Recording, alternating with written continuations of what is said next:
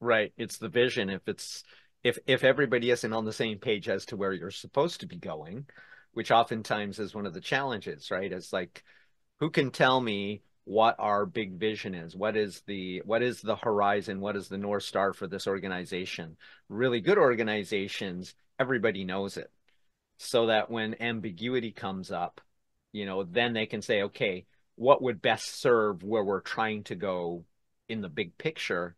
Whereas if people don't have that clarity, then it's sort of like everybody just kind of it's like herding cats. Okay, next one.